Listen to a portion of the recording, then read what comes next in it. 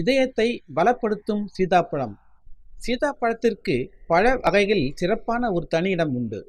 சீதாப்பழத்தில் உள்ள பல சத்துக்கள் இதயத்தை பலப்படுத்தி சீராக இயங்கச் செய்கிறது. சீதாப்பழத்திற்கு ஆரம்ப நிலை காசநோயை குணப்படுத்தும் சக்தி உண்டு. மத்தியம நிலை காசநோய் உள்ளவர்கள் இப்பழத்தை உண்டு வர நோயை கட்டுக்குள் இருக்கச் செய்யும்.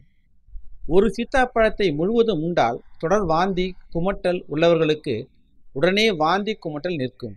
சீத்தாப்பழத்தை தொடர்ந்து சாப்பிட்டு வர அறுவை சிகிச்சை செய்து கொண்டவர்களின் உடல் உள்ளுறுப்புகளில் உள்ள ரணங்கள் விரைவில் ஆறி குணமடைவர். சீத்தாப்பழத்தை சாப்பிட்டால் மலச்சிக்கல் குணமாகும். சீத்தாப்பழத்துடன் சிறிது வெந்தயத்தை ஊற வைத்து சேர்த்து சாப்பிட்டு வர குடற்புண் விரைவில் குணமாகும். சீத்தாப்பழத்தில் குளுக்கோஸ் கணிசமாக உள்ளதால் உடல் சோர்வை அகற்றி சுறுசுறுப்பை ஏற்படுத்தும். சீதாப்பழச்சாற்றுடன் சிறிது எலுமிச்சம் பழச்சாறு கலந்து பருகினால் சிறுநீர் பிரியாமல் அவதிப்படுபவர்களுக்கு சிறுநீர் தாராளமாக பிரியும். நீர்க்கடுப்பும் நீங்கும். சீத்தாப்பழத்தை தொடர்ந்து ஊளைச்சதை உள்ளவர்கள் சாப்பிட்டு வர ஊளைச்சதை கணிசமாக குறையும். சீத்தாப்பழம் இரத்த விருத்தியை உண்டாக்கும். சோகை நோயை குணப்படுத்தும். சீதாப்பழத்தை சிறுவர்கள் தொடர்ந்து சாப்பிட்டு வர நினைவாற்றலை வளர்த்து கல்வியை ஊக்கப்படுத்தும்.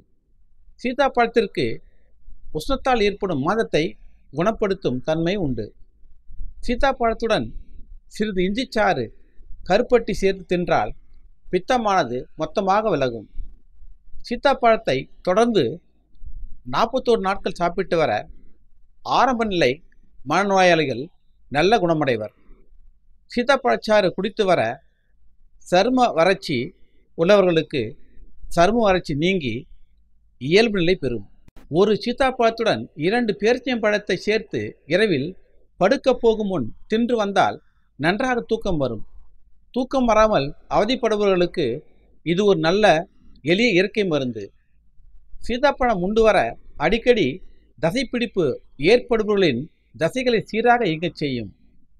சீத்தாப்பழத்தில் கணிசமான அளவு வைட்டமின் சி உள்ளதால் சளி பிடிக்க தடுக்கும் தன்மையை உண்டாக்கும். சளி பிடித்தவர்கள் இந்த பழத்தை சாப்பிட்டால் சளி குணமாகி நலம் உண்டாகும். சீத்தாப்பழத்துடன் சிறிது மஞ்சள் தூள் சேர்த்து சாப்பிட்டு வர கொலஸ்ட்ரால் உடம்பில் சேராது காக்கும். சீத்தாப்பழத்துடன் குங்குமப்பு சேர்த்து சாப்பிட்டால் நோய் எதிர்ப்பு சக்தி உண்டாகும். சீத்தாப்பழத்துடன் சிறிது வெள்ளைப்பூண்டு சேர்த்து மையாக அரைத்து தேமல் மீது பூசி வர தேமல் மறையும். சீத்தாப்பழச்சாறுடன் திராட்சை பழச்சாறு கலந்து பருகி வர நரம்புகள் வலுப்படும்.